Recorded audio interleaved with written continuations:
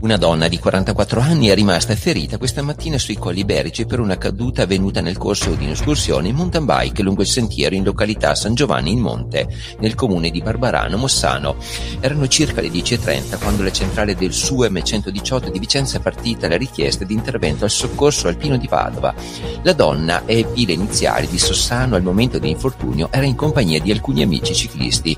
e nella rovinosa caduta ha riportato la probabile frattura di una gamba raggiunta da 13 soccorritori che sono risaliti al luogo dell'incidente grazie alle coordinate ricevute, l'infortunata è stata stabilizzata e imbarellata per essere trasportata in un punto agevole nelle cui vicinanze è atterrata l'ambulanza di Padova. Una volta che l'equipe medica ne ha valutato le condizioni, la ciclista è stata trasferita su un'ambulanza partita in direzione dell'ospedale di Vicenza.